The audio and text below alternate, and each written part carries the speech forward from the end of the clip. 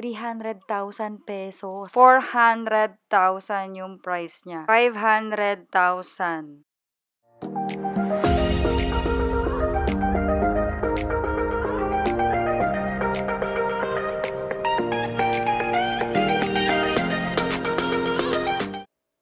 Suksum Chaipong mutant siya guys. Uh, 1,300 siya. Tapos si Pink Chandang 800 pesos. Ayan.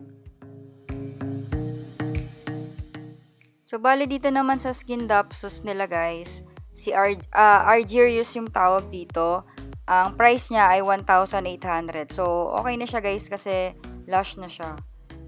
So, dito guys, hindi ko alam kung ano to, Moonlight ba to o Melanoni. Pero, ang price ng Moonlight depende sa size. Pag small, 800. Medium is 900.